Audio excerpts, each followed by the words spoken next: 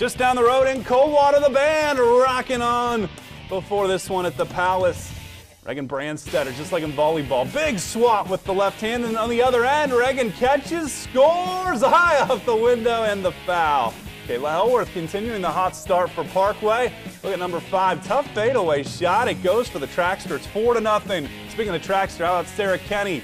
Wing three, you know she's firing it up and making it. Coldwater's on the board. Then Hellworth continuing to lead for Parkway. She'll muscle through. It's a 7-3 advantage for Coach Hughes. Too much Coldwater. Denise Schwieterman, high low to Lauren Ligers. Cavaliers come from behind. Final score from the Palace, 40 to 34 Coldwater.